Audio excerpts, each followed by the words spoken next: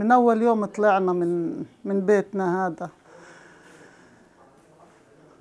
رحنا عند بنتي تاني الله يرحمها استشهدت هي وزوجها وأولادها. في عشرة رمضان الثانية استشهدت. وكنا نتنقل من بيت لبيت من بيت بنتي هذه لبنت الثانية. وفي الآخر رحنا عند نسايب ابني الكبير ناهض في الصحابة. صار اجتياح للصحابة. اجينا نطلع من الصحابة. صرنا نتصل عليه إنه ما يجيش عنا كان هو عند نسايبه عند دار الشرفاء. إنه ما يجيش على الصحابة. صار إيش؟ الاتصال فيش اتصالات بالمرة. انقطع الاتصال. كان بحاول على البرندة يلقط إرسال عشان يعرف وين أهله. كان بدور عليهم قبل بيوم. طول الوقت وهو بدور عليهم بدور عليهم مش عارف يوصل لهم. طول الليل هو برن برن برن ما نامش طول الليل. وصحي الصبح راح على البرندة أخذ جواله وجوالي عشان يحاول يشوف الإرسال. فيش وكان يومها كتير القصف في المنطقة كتير قوي. كنا إحنا طالعين من منطقة صعبة كان القصف فيها شديد و... آه. محمد آه، يعني كان في هذاك الوقت آه، بدور علينا وبحاول يوصلنا. آه. ما تمكنش إنه يصل لنا فاخر محطة كنا قاعدين فيها اللي هو في بيت في الصحابة لنسايب أخويا الكبير. قاعدين فجأة بأمان الله إلا الصواريخ صارت عشوائية والقذائف وشكل جنوني. كان قبل بيومين جاي يعني يزورنا ووعدنا إنه بده يجيب ابنه وي- ويجي عنا يعني يقعد يوم. حتى أنا وابني ركب ابني الكبير في سيارة وأنا ركبت مع نسايبه وانقطع الاتصال. صرنا ندور مين هذا مع مين لأنه كان الاجتياح في الصحابة صعب على الآخر. صار شهيد في نفس في البيت اللي إحنا كنا فيه. وطلعنا يعني بعجوبة يعني الدب كان كله على الطوابق العالية. آه وعشوائي كان. صار هو حنون كتير. ما عرفش ينام. الظروف إحنا يلا يلا عرفنا نصل المنطقة. هو مرتين رايح الشفا يدور علينا. الجيران صاروا يحكوا لنا وقرايبنا. وصلونا رسائل بعد استشهاده بكم يوم.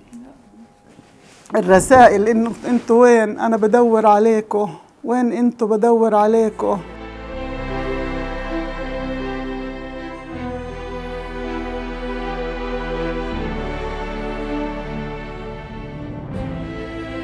فجأة صارت الهوى تقرب أكتر علينا تقرب أكتر علينا.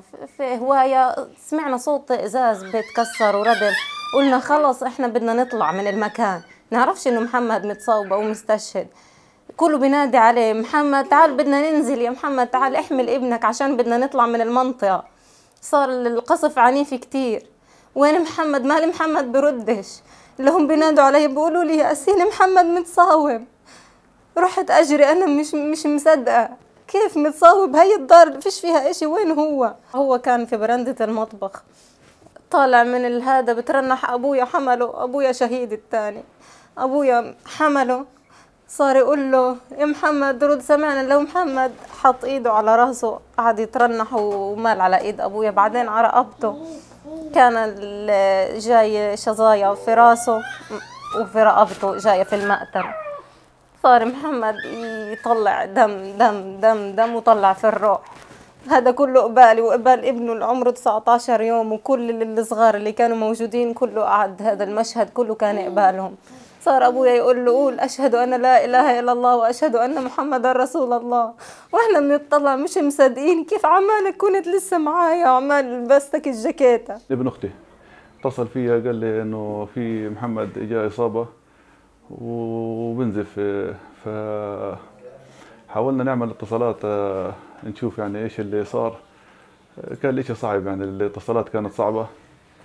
آه، ما فيش ربع ساعة أو ثلث ساعة تقريبا توصلنا لل لخبر وهيك اللي هو إجانا خبر إنه محمد استشهد. كان ال- الخبر يعني هيك صعب.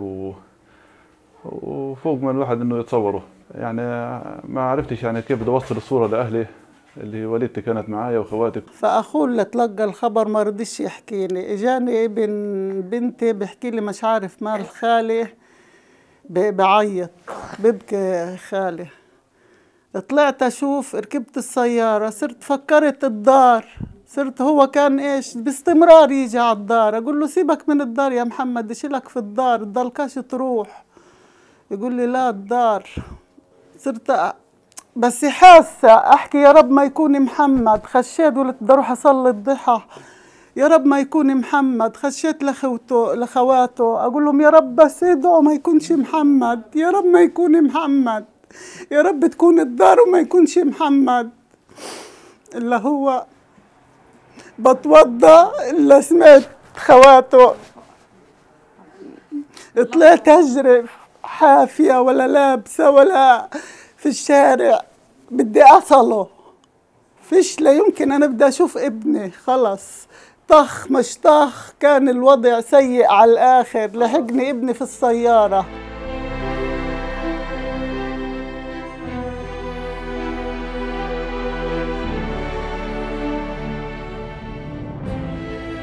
وبعدين بنفكر طول الليل أنا وياه.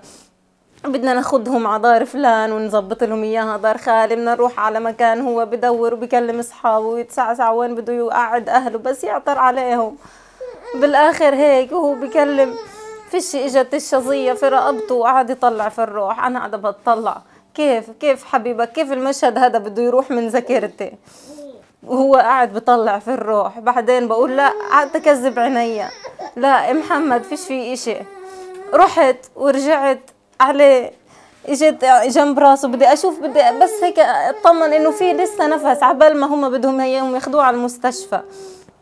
نزلت هيك جنبه بدي أشوف نفسه لقيت عينيه قاعدين بتطلعوا على السما. قلت عينيه سبقت طلعت تشوف مع روحه.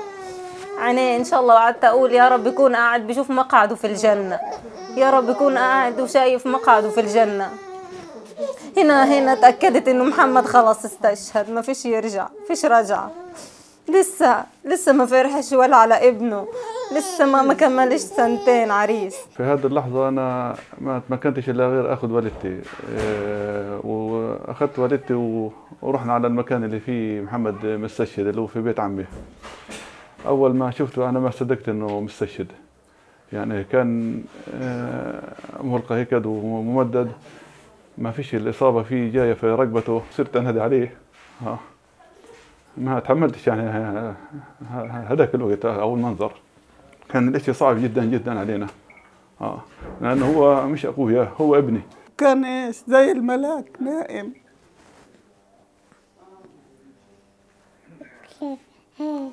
هذا ابنه. كان 19 يوم. احكي يا تاتا. محمد تربى يتيم. كان عمره عشر سنين لما توفى أبوه. وهي ابنه بتربى يتيم برضه.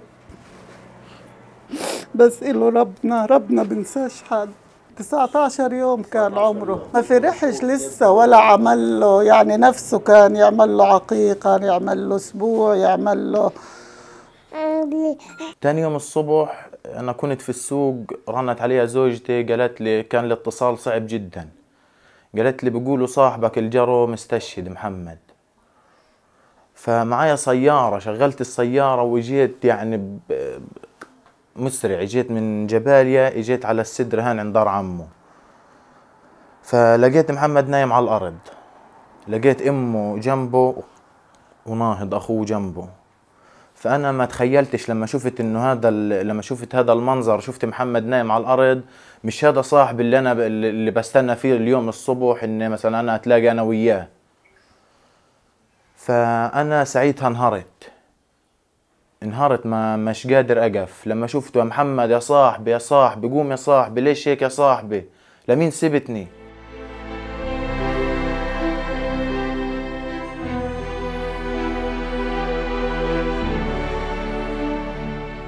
حنون الحنان كله. أنا قلبي انحرق ظهري انكسر. عيني اللي بشوف فيهم راح. الله يحرق قلوبهم زي ما حرقوا قلبنا. بس اللي بيهون عليه الواحد إنه عند ربنا ولا اعتراض على حكم الله. الله يرحمه أنا وقتها وقتها تيتمت للمرة الأولى كان هو إلي. أبو وكان إلي أم وكان أخت وكان الصاحب وكان الأخ وكان أكبر سند في حياتي. تعلقت فيه كتير كتير كتير في الحرب هذه. كمان غير الواحد قديش كان يحبه في السلم إلا في الحرب صار يحبه أضعاف. لما تشوفي خوفه عليك وحنيته وطيبته على كل اللي حواليك مش بس عليك. كان عزيز كتير علينا. يعني إيش أحكي لك؟ نقدرش نعطيه وصف. كان في يعني طبيعة هيك. فيش أكم من يوم هيك بمرش يعني يوم إلا بيتصل عليا بطمئن كيف أنت؟ آه، كيف الأولاد؟ خاسس عليك حاجة؟ ما يحسسكاش إياها بشيء لو أنت ناقص عليك إشي يعطيك إياها. كان مصدر للعطاء. كان يعني يحس إنه أنا مثلا خلص مخنوقة. سواء أنا أو واحدة من خواتي يعني يعني هو حنون كتير لدرجة كبيرة. مثلا تعالوا إيش زهقانين؟ يلا طشوا على البحر. يلا اركبوا يلا آه، اليوم عزمكم عندي. اليوم يفاجئنا هيك. اللي إشي مثلا ها ماشيين في السيارة ينزلنا على أي مول على أي حاجة أنت يعني نفسك فيها. كان أحكي لك يعني إيش المصباح العجيب. محمد مشهور في كل المنطقة في خدمة الناس وفي الكرم وفي الوقوف جنب الناس في الأوقات الصعبة في الأفراح في المناسبات. بتلاقي محمد.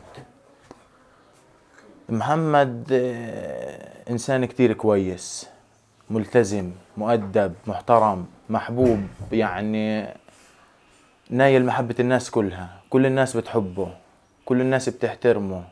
إنسان شغيل. الله يرحمه يعني قطع فيا كتير. كان يشوف في عينين أي حدا شايفه إذا شافه في عينيه محتاج إشي.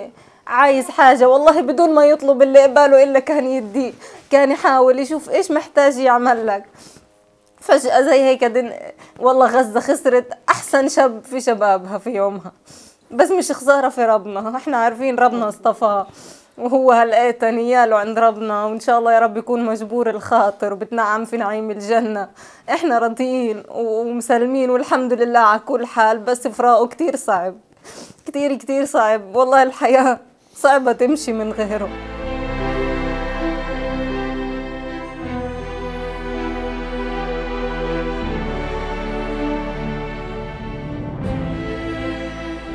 محمد تربى يعني يتيم آه، يعني أنا كنت آه، زي أخوه الكبير وفي نفس الوقت والده.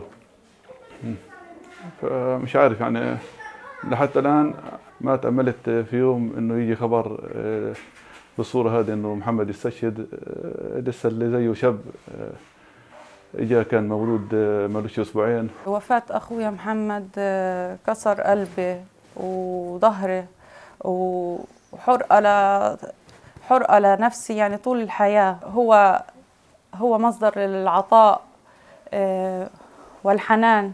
و فليجبر الله كسر قلبنا بسعادته في الآخرة ويجعل قبره روضة من رياض الجنة.